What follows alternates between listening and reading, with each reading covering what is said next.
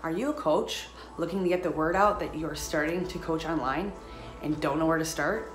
In this video, I'm going to share how to start a coaching business without a website or other flashy tools.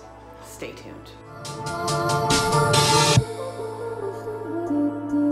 Hi, I'm Val Kuikman, certified life coach and mindset and performance coach for working professionals who also run successful online businesses. And I'm founder of the Part Time to Pro community. Are you just starting out as a coach and you're not sure where to start? Maybe you're feeling scared and confused right now. There are so many things you think you have to do to begin coaching online. Totally get it. You may think you need a website, a CRM, an email funnel, a podcast, a large list of followers, a YouTube channel, a Facebook group.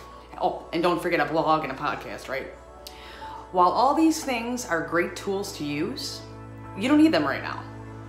Many of the gurus like Amy Porterfield, James Wedmore, and Chalene Johnson use them now, but thinking that these tools will be the key to your success is what's going to stop you from getting started in the first place. If you want to start out coaching online, you just need to start sharing that you're coaching and get a small system set up for accepting coaching clients. You can do that today without paying for expensive tools and resources.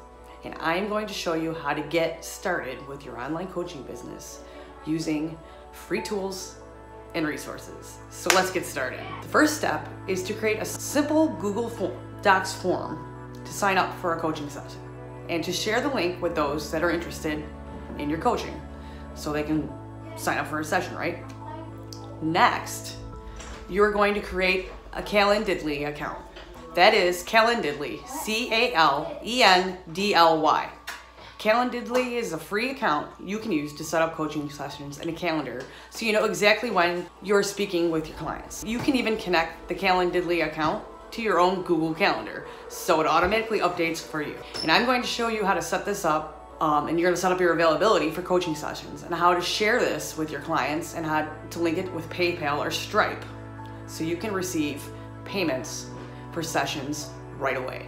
Last but not least, you're going to go live in your Facebook group if you have one, on your timeline, and on your business page if you have one, sharing you have a couple one-on-one coaching sessions available. Share the Google Doc link in the comments of your live or ask them to comment that they want a session with you and then you can PM them the Google Doc link so they can sign up. And once they fill out the form, then you send them the Calendly link to sign up and pay. You're all set.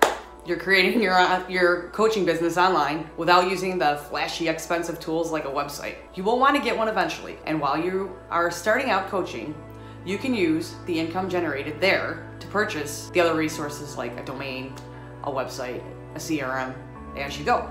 If you like step-by-step -step processes, I've created two short ones to help you create your Google sign-up form. I've also created a video to show you how to set up Calendly to have your clients schedule their coaching call with you and how you can attach your Stripe or PayPal account to Calendly to take payment. You get this step-by-step -step process by clicking the link in the video description below. If you like this video, subscribe now so you don't miss out on future videos.